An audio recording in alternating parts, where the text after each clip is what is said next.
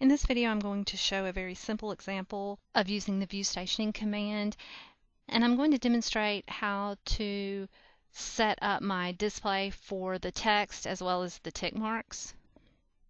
And in this example I'm going to go ahead and disable everything except for the major stations and ticks. So I'm going to turn off the minors and the PIs and the station equations. So I'll click apply. So you can see first of all that I do have only my major stations displayed, but they are so small that they're a little hard to see. So the first thing I want to do is go back into my regular stations and I'm going to change the text size here. So I'm going to click on the browse button in the right column of major station and you can see here I can set up any of the different text symbology associated uh, with this stationing text. I can change the color, weight, font, etc. I can change the justification, the height, as well as the rotation and offset. So we're going to work with a few of these um, in this video. First thing I want to change is my height. So I'm going to go ahead and just set that to a height of 1.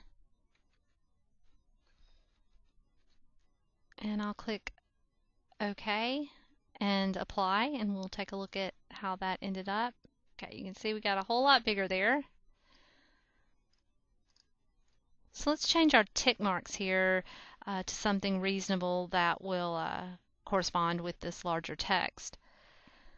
So for my major ticks, I'm going to change my left offset here to negative 0.5 and my right offset to 0.5.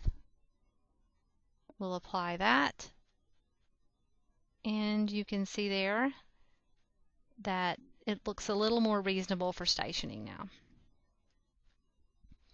If you want to change the line symbology for the major ticks, you can do that here.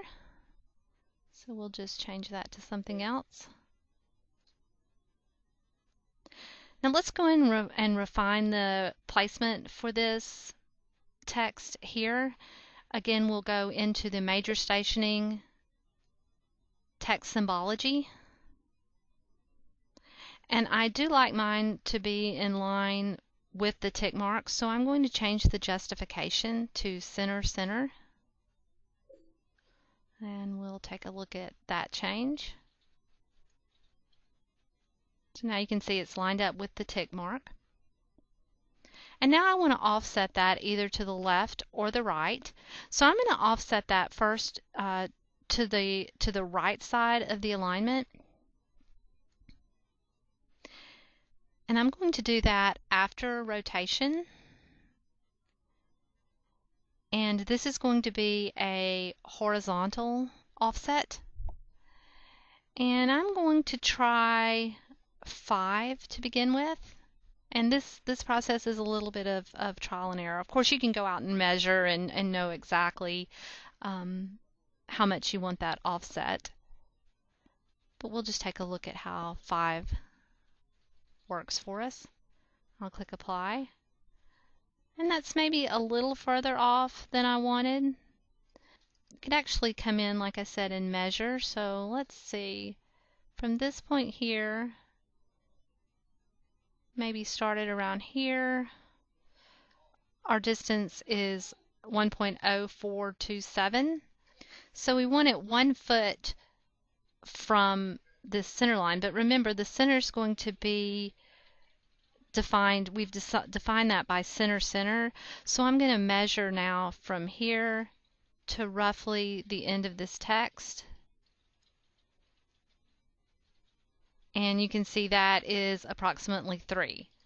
So let's go in and change this to 3 plus the 1 and we'll change that to 4. Okay, and apply. Much nicer. So that's that's the way we want that to be. Now let's say we decided we wanted to switch this over to the other side. It's very simple. You'll just go into the major stationing and I will change this horizontal rotation to negative 4 click OK and apply. And now we've moved it over to the other side.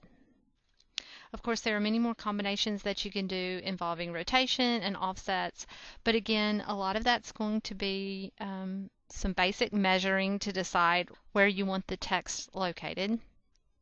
And then you'll you'll combine um, the justification with the rotation and the offsets in order to achieve the display that you want.